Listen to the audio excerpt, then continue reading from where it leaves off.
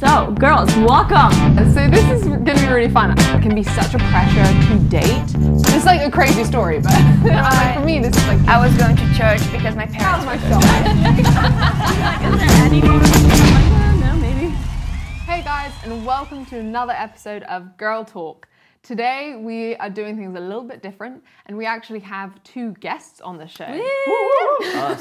yeah. Um, so we have brought two wonderful guys onto the show. We lost Lady and Beth. Uh, sadly, they will be back. Um, but we have Nathaniel and Connor here joining us. And we wanted to bring them on because we thought it's really cool, obviously, hearing about us girls and our thoughts on um, relationships and all the different things that we've been talking about. But actually, it's really helpful, I think, also to hear what guys think and to hear their perspectives um, on a lot of the topics Yes. we've been covering. So, we're going to start by just having a little introduction time. Um, Connor, how old are you? And tell me a hobby. Um, Where are you I- from as well? Sorry, I missed that one. I'm 22 years old. I'm from West Palm Beach, Florida, in the United States. Yes. Nice. And a hobby of mine is reading. Nice. I like reading a lot. Favorite good. book? Screwtape Letters by C.S. Lewis. Yes. Great book. That's Yeah. such a great book. Uh, I'm Nathaniel. I'm 22. Uh, I'm from England, and my hobby is I just love drumming. I'm just quite musical, so yeah, Nice. love that. I'm making cool. candles. Yeah. Yeah, Yeah. that's true. Quite a pro at it, I hear. Yeah. Yet to receive any though. Some say. Yeah, I was just gonna say I still haven't received any Oh, of your candles. Yeah. Maybe we I've focus gotten a few. instead. okay. um, yeah, so this is going to be really fun. I think also um, another thing to add is Connor is actually my boyfriend. We are dating, which is very fitting for the topic of conversation because we're going to be talking about relationships. Um, so to start off with, we're like going to kind of like zoom back to when we were in school, and I want to ask you guys. I think in school it's super common for there to be a lot of pressure to start relationships. So I mean, I think Not, not only pressure, though, but also desire. You- Yeah. You know, like that's also another Yeah. aspect of it. 100%. Um, so, first question is Did you feel like any pressure? What, I guess, just also like, what was your experience? Like, when did you have your first girlfriend um, in school? Or boyfriend for me. Yeah, Yeah. tell us, tell, yeah, or boyfriend. Yeah. So for me, um, I uh, I remember that time in school being quite yeah quite hard. I did have this desire to have a girlfriend. You know, um, I think that's because we're made for a relationship. Yeah. Um, but I remember also getting a lot of slack from my guy friends, being like, for me, I didn't have a girlfriend. Like my first girlfriend was 16 when I was 16, yeah. um, and before that, and even after that, because that was a very short relationship. Um, I yeah, they used to call me gay and stuff, and Yeah. I I would feel yeah pretty pretty hurt by that. Yeah. Because when you're young, it kind of pierces sure. into your heart, It's and formative. yeah, definitely. Yeah. So for me, that was my experience. And you being 16, like, it's quite funny because you were like, oh, yeah, it, it, did that seem like it was late in life for you to have your first girlfriend being 16? Uh, to be honest, no. That, Okay. that seemed pretty kind of like it seemed pretty early, to be honest. Yeah. I, Yeah. in my head, I was like, okay, I'm gonna get married when I was like 24. Let, let's say something like that. Coming up quick. Come on, You're like, oh, hold on. we've got two years now. Um, but yeah, for me, that was pretty early. Yeah, okay. Because it's, it's interesting because I think for some people when they hit 16 having a first boyfriend or girlfriend, it comes across as like, oh, that's like quite late. For some people, they were like bullied and maybe even a little bit before that by their friends, being Yeah. like, oh, come and hurry up. Um, and then for others of us, that probably sounds quite early to have a Yeah. boyfriend or girlfriend at 16. Yeah. Um, I did not have a uh, boyfriend at 16. My first boyfriend was when I was 18, but I remember being 14, 15 in school. And even at that stage, I was already feeling a kind of like pressure from my friends to be like, oh, why aren't you dating anyone? Like, is there anyone you're interested in? Yeah. Um, and a lot of my friends had already had multiple, yeah, multiple relationships by that point as Yeah. well. Yeah. I think for, for me, like growing up in the town that I did, everybody, like a lot of people got married super young Yeah. and w- started a relationship when they were 16. And so for me, I had that pressure. I'm like, oh my gosh, I need to have a boyfriend. Like really, I like my, let me get the, like my parents never pu- pushed me to like, you know, you need to be married, you Yeah. need to get a boyfriend. No, my parents always advocated you need to like wait, you know, till you feel like you're ready. But I think my a lot of my friends were in a relationship, so I felt pressure to have a boyfriend, and I was just like, what is wrong with me? All these questions go through your head, like nobody wants me, you know, all these things. But I wasn't ready. When I look, think back at it, and I was just like, thank goodness I wasn't in a relationship That's then. so you true. know, it's just like I was not ready. I was so insecure, didn't even really love myself. Yeah. So how could I be with somebody, you know, Yeah. like them? So yeah. What was it like for you in school? my first relationship, my I never had an official relationship until after I'd graduated school. So I wasn't Yeah. in a relationship until I was 19 years old. And so, that being said, there was a lot of people that I would, you know, talk with or, Yeah. you know, we're chatting up when I was in high school Yeah. and middle school and things like that. Um, so I, I definitely wasn't like just this pure, set apart young one for my Yeah. entire like school career. Um, but I think for me, I never necessarily got bullied or pressured. But for me, it was more of that desire all throughout mm-hmm. Right. school. I had this desire. I, I want to be in a relationship. I want to be in a relationship. But I was not decisive enough. I wasn't committed enough. I could never make up my mind whether or not I liked this person. It was always like, oh, is there someone better? Is there someone Yeah. that I found more attractive? You know, this, that, or the other Yeah. thing. To be fair, I didn't necessarily care too much about the hearts of the girls that I was chatting with. I was Ooh. I was a bit of a a menace back in the day. Yeah. Um, and so, yeah, I was kind of all over the place, but then at the same time, very afraid of what people thought. So, yeah, I, I never had a girlfriend, nor did I ever kiss anyone until Yeah. I was 19. Wow. Yeah. Yeah, I okay. think it's interesting how much. I mean, like those years, I think is just so pivotal. Like for me, going from 12 till 16, 17, I think it was some of the most shaping years probably of my life in terms of like really stepping into who I am, into my personality, Yeah. um, into the things that I want in life. Um, and I think uh, some of that obviously it continues happening. Like we're all like growing and Yes, learning about yeah. ourselves True. now, even in like early 20s or late 20s. Don't say my, don't say my age. Do not say my Sorry age. to remind you. Joking. Um, but I think for me, that I realized like when I look back, also just like so much ma- like immaturity on my part, even in that I was really set that we kind of had a family rule, even that we wouldn't date until we were like 16. We set it for ourselves as kids. But we had this rule of like, let's not date till we're 16. But even before then, I think like I knew there would be people that I'd be talking to, like guys that I was speaking to who were like my friends. Um, and I wouldn't be interested in them at all in terms of like a relationship or starting a relationship. But there was just this like desire for, I guess, like validation, for affirmation, to know that you were kind of seen, to know that you, like, Yes. someone wanted to talk to you, wanted to spend time with Yeah. you. Yeah. And I think like, yeah, I look back and I realize like I actually would um yeah, get quite close and and be quite like deep with a lot of these guys. Yeah. Like friendship wise, like in conversation. Um not really like honoring them Yeah. actually, but more just for my own benefit. And and actually I had a like stage even when I was younger where I was like quite secretive about it. Like Secretive. yeah, a little bit secretive. I remember there was one time where I had like my brother, it was one of my brother's friends, and he would like talk to me sometimes. And I remember we would like text. And then I had this thing where I was like, actually, this kind of feels off because I like think I like, all, like, do you know what I mean? Where you're like encouraging someone, building them up. Yeah. And it was like he was kind of insecure, I was kind of insecure. And so then we kind of feed off of one another's insecurity It and affirming healthy, one yeah. another.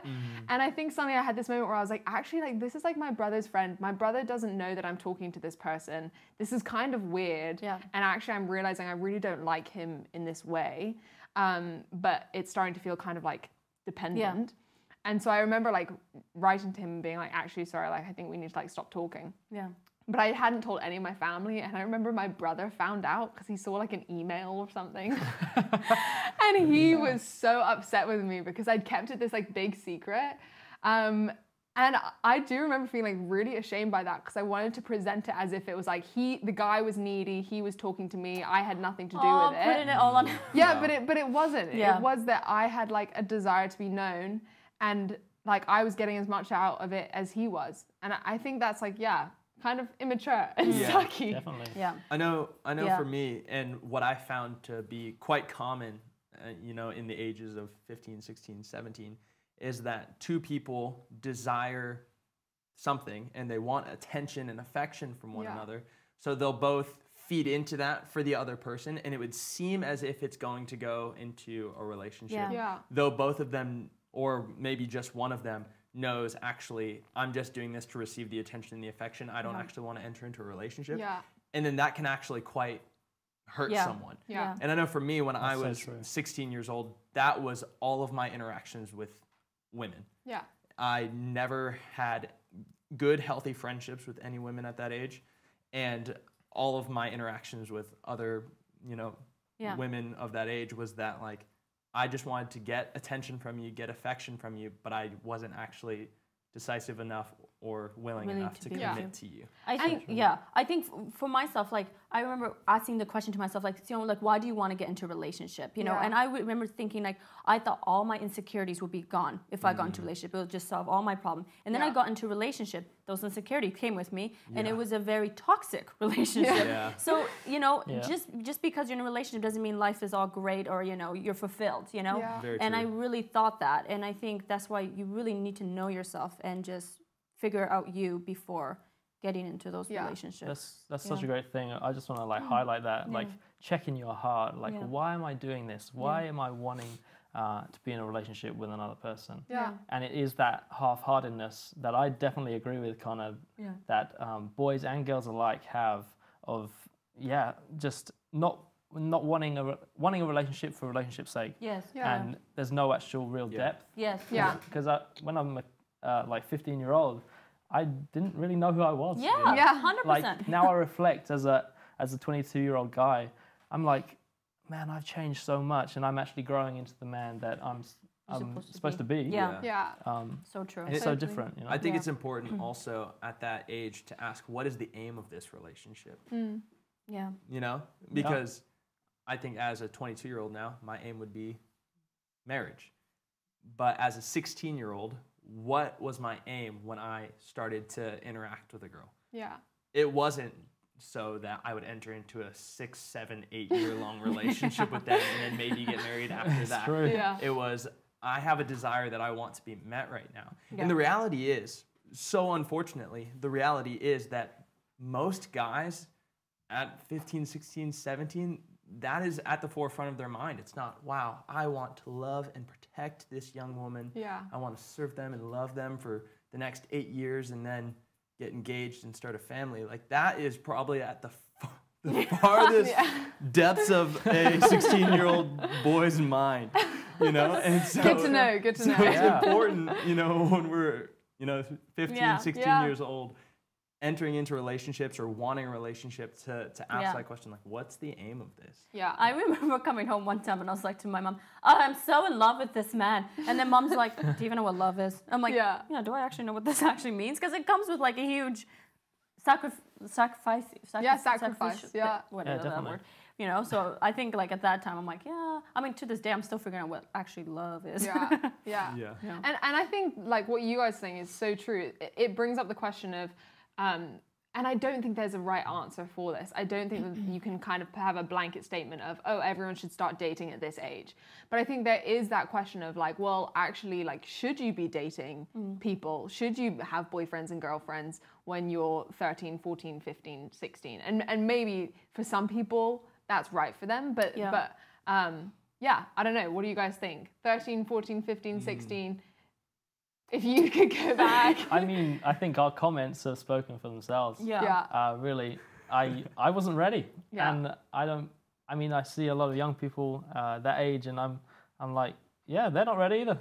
Yeah. that, that's my opinion. Um, Yeah. Not saying that all of them are, Yeah. are ready or not, but And I, I think it's difficult uh, with Mm-hmm. that because we see in movies and in TV shows that there's this, you know, storybook finish to, Yeah. you know, Yes. High school sweethearts. Walk in the Yeah. park. and, Yeah. and that seems like, oh, that's the aim. Yeah. but it, it hardly ever is that. But I do know I do know people who started dating when they were Yeah. 15 years old and and now they're married and they have children. So it, sometimes it work out. It, it's Yeah. really dependent on the two people who are entering into a relationship. But I think for me, I, I would say. Why not just wait? Like, Yeah. what's the point? Why not Yeah. focus on who you are and who you're becoming, and and building that. yeah, and, and building that up, deciding who we want to be and, and strive to be the better version of ourselves. and then aim to become that person and then enter Yeah. into a relationship. I think, but don't you think also like culturally, Mm. there's different cultures that really you do start relationship early. You Yeah. know, I think in some um, places, countries in Africa, you start relationship. You're sometimes a mother at 14. You know. Yeah. It's. I think sometimes in different cultures are different. I'm not saying that you know. Be a mom at 14. Yeah. Like, oh my gosh, if I was a mom at 14, I'd be like, but, you know.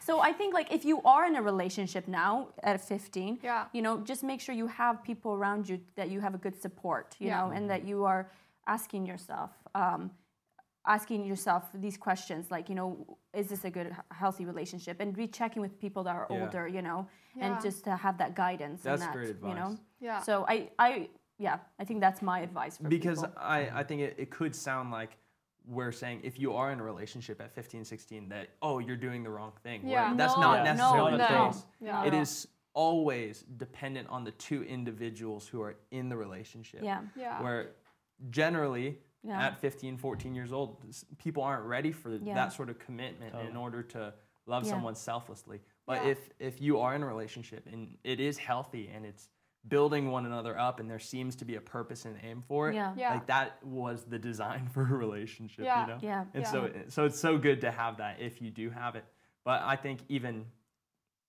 it can be found in relationships outside of romantic Yeah. relationships Yeah. i know that when i was 16 years old i had really good guy friendships that Mm. that were able to push me into becoming a better version of Yeah. myself Yeah. and that was super foundational for me becoming yeah, who i am today Yeah. 100%. have those And- friendships And I think like if I was to hit on anything, it would be what Nathaniel was saying earlier, which was that whole thing of like if you're in a relationship at 13, 14, 15, 16, 17, whatever age, um, to ask yourself the question of why. Yeah, And that's the most important thing. I think when you can reflect and go, okay, why am I in this relationship? Yeah. Is this relationship healthy? Am I in this because I really want to like have relationship and love the person and um, yeah, grow? Like, am I helping this person grow, or actually are we Yeah. just like feeding off of one another in a kind of unhealthy way Yeah. because we're both insecure and don't know what we're doing and actually is limiting our development maybe even. Yeah. Um, I think you have to like be honest with yourself, and and some of that probably is also getting advice Yeah. from people around you and, and talking to people around you. Yeah, and I think for myself, I was in a very codependent relationship, and I think that is very toxic. And I think just know, go back to knowing yourself, and I think not depending on like if I don't have this person, uh, uh, who am I? Like, what am I going to do with my life? You know, if you're thinking like that, probably best to get out of that relationship. You know, Yeah. so Yeah. yeah, Yeah, no, it's so good. So I think like for me, something that I really valued, like when I'd kind of worked through some of my uh, immaturity issues, which obviously was We always did. kind of a process. You know, it's Yeah. not like It's you just like Come go on. like, oh, have one experience, and then it's like, oh, I'm out of it and I'm good now. like it was a process. But I think something also that I realized, like the older I got, that I really valued was having good friendships with guys yes, um, was recognizing because this is a whole nother thing. Like in school, I think particularly there can be such a pressure to date when you're good friends with a person. Yeah, Because all of your friends start talking about it. Everyone's going, oh, but you guys hang out so much, you get on so well. Why aren't you dating? And I think then it can kind of like feed this concept in your mind, and you're like, oh, well, is it weird for me to be friends with a girl? Like to be this good friends with a girl? Is that like wrong? Should I be dating her? Um, did you guys have like pressure in school ever around those? Yeah, I definitely did. When I was 17 years old, I became really good friends with this one girl. And it, for probably a year, we would just hang out like quite a bit. Yeah. And we weren't like texting every day and we weren't, you know, dependent on one another mm. for affection, but we would hang out two or three times a week. Yeah. And we would hang out with other friends, but it was quite obvious that her and I were closer than we were with some of the other friends. And that was so good for me in setting a standard of what like a good friendship with the opposite gender should Yeah. be. yeah, It, wa it was really beneficial because it was the first female friend that I had made where I could actually just be comfortable and like didn't have this goal that I wanted to, Yeah. you know, Yeah. flirt with them or date Yeah. them or Yeah. whatever the goal was. Yeah. They were just my friend. And I remember having a lot of friends asking, well, oh, aren't you going to date?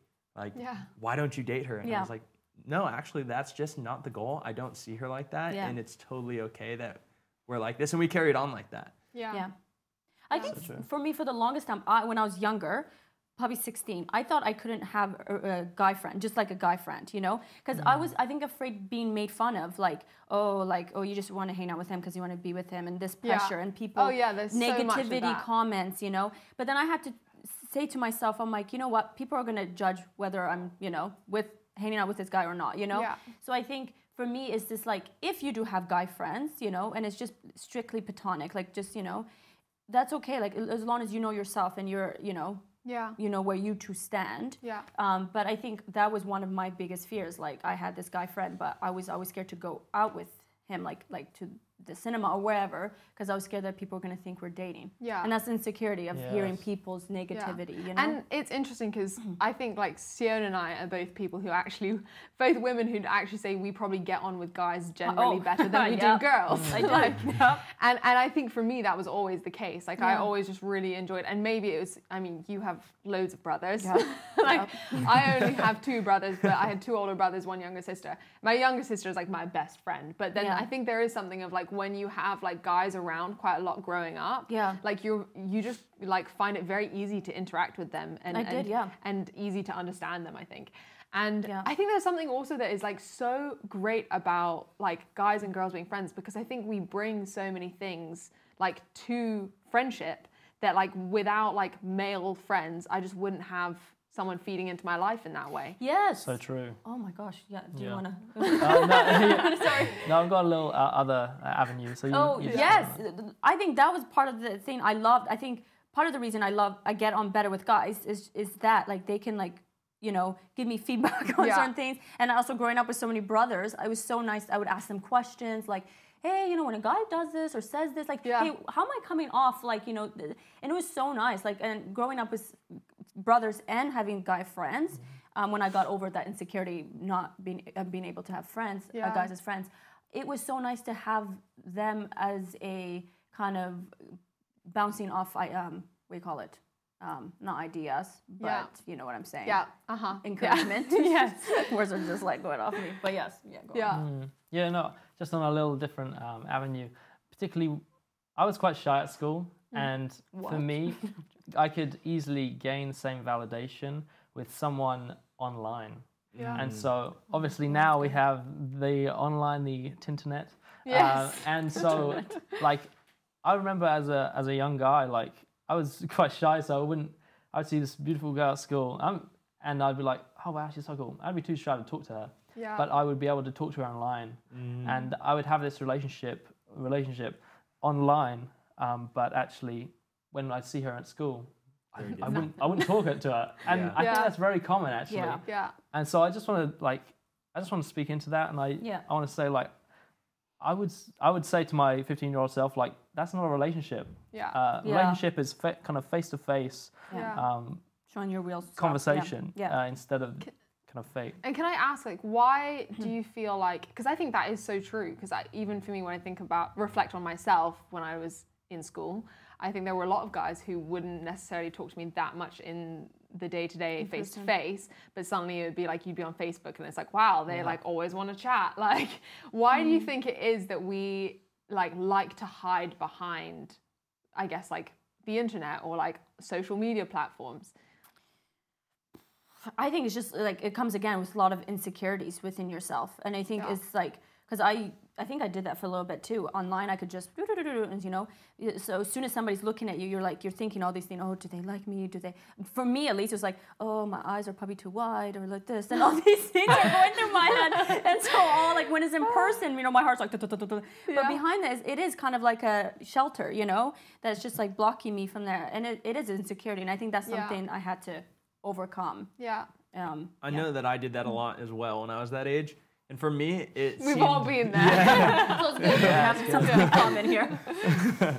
for me, it was a, an aspect of control. Yeah. That I was able to put forward what I wanted to put forward, Yes, not yes. what I actually was. Yeah. I was able to control what I was saying, how long it took me to say it, and and Yeah. what was being conveyed. You know, true. down to the T, down to the comma, Yeah. down. You know, whatever Yeah. it was.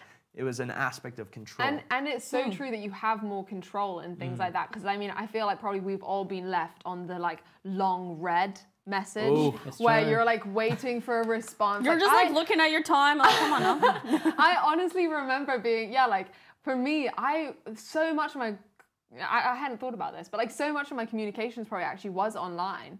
And like even reading into all of those things, I remember when I was 16 deciding that I would never put like kisses, like X's at the end of messages, because I realized so many people I talked to like would like read so much into that and that they would like, you'd send like two and they'd send like, you know, three and then you have to send four and if you Thousands, send like, three drama. then they're sending less like yeah but it's like we, Yeah. we have all these ways of like Yeah. communicating and i just remember being like i'm just not going to send x's anymore because i feel like like i'm offending you if i send one less than you and now there's like some sort of like unspoken tension like i don't know You know, it's it's so it, it's so toxic because for me also it's just like okay, if I said this long message and Yeah. then you get one word like K, I'm like ah! Yeah like it's like so much insecurities go through this, and that's why it was so hard for me to like have a relationship through me- um, mm-hmm. com- uh, internet or computer or whatever. Yeah. I'm just like mm-hmm. messages. I was Yeah. just like Yeah. Ah, and it's like if you so get the much more full stop at the end then whoo you in trouble All right. on, on a serious note, though, I, I have a mm. question. Where do we draw the line, though, mm. between just being a good friend and actually desiring to have good friends of the opposite gender? And this might actually be inappropriate to be this good a friend. Yeah. You know, if I'm texting a girl seven days a week for two hours a day, is that too far? you know, if I'm not going to date them or if I don't feel like I should date them? Yeah. Gosh, I, it's so hard, isn't go, it? yeah. Well, because I think like for me now, but this wasn't what I did at the time. Yeah. Like for me now, I would be like, if you're, and I, and I definitely did that. Like I definitely had people who I was like texting them like every day. Yeah. Um, and I didn't do anything about it. I think I like to just assume that people were like, "Oh, we're just friends until you say otherwise, or until like you he brings it up, and I can then just like I have free reign to like be how I want to be and say whatever I want to say." Yeah. Um, which isn't cool. like it's not because I think like now as I'm older, like looking back, I'd be like, "Oh." Naomi, like you should have like what I would call as like a crucial conversation. Like you should ask the person, like, hey, I realize like we talk a lot, like more than most of my friends. We're really good friends. I really get on with you. I realize like we're literally talking every single day. And I just want to clarify, like, are there any feelings here? Or are we just friends? Because I think if I didn't have feelings for the guy that I was talking to, I never wanted to ask that because I just didn't want to know if they liked me. Right. Because then I had to deal with the consequences Yeah. of like, Yeah. okay, now I'm gonna have to kind of hurt you and tell you that I don't like you back. Yeah. Do you know what I mean? I think commu- like I think you were kind of saying it. It's like direct communication. I think it's like where we at. Like you know we've been talking. You know, like you said, seven days a week Yeah. sometimes. You know, like we've been talking a lot. I think you just need to assess for yourself. Um, but I think I I was in kind of a similar not your similar situation. But like I was talking to a guy for a bit, and then I was just like, okay, like I don't know him that well, but like you know, it's asking a lot of personal questions. And I was like, hold on a second, is this like what is this? Like, is this a friendship or like you know, um, you're asking a lot of, and then it's good to set the like, oh, yeah, we're, this is just friendship. And I was like, okay, Yeah. good to know. That's good. You know, I think Yeah. communication is huge. Yeah, Yeah. I agree. Yeah, so true. And I think obviously there's like one way that you can get around that very easily is like hang out in groups, have like multiple Yeah. people that you're friends with. Do you know what I mean? Like don't just have like one guy that you're friends with as a girl. Do you know what I mean? And don't be exclusive. I think that's another thing. I think and that's just in general, like honestly a rule for everything because I think we can be exclusive even in our like female female friendship groups or like male male friendship groups um, and i think just being wary of if you're starting to be exclusive and if it's making people around you feel uncomfortable Yeah. like maybe actually you've gone a bit too far in your friendship and that's something that you guys need to talk about because it's starting to look like a relationship Yeah. do you know what i mean Yeah. Mm. yes. but it is tricky it's hard is tricky. Yep. yeah, and, and I think this is like brings me on to like probably one of the final questions, which is tied to this, is do you think guys and girls can be best friends? Why not? Yeah. But I think you just have to kind of wait out. Like I said, like I think once one of you get into a relationship, then it changes Yeah. I a little think bit. yes, but here's why. I think all of the guys who have ended up becoming my best friend have also ended up becoming at some point, therefore, my boyfriend. Which I guess kind of is like going against the question as well. Yeah. But I think like So I know, forewarned. yeah, I know people say that like you don't want to be in the friend zone. In my opinion, I think the friend zone's the end zone. Like I think if you want to like date Hey. someone, get married to someone, like starting off by being really good friends and actually becoming best friends potentially is awesome and like a really cool place to be. I think it would be weird if I was married and I had like a male best friend who was like as close to me as my husband. Do you know what I mean? Like Yeah. that's when it's weird. Yeah. Um, but yeah, like for me, definitely, I'm like, I think you can definitely be best friends with a guy. I just think my experience, it'll probably end up being like my boyfriend or the person I'm married to. Yeah. Yeah. yeah.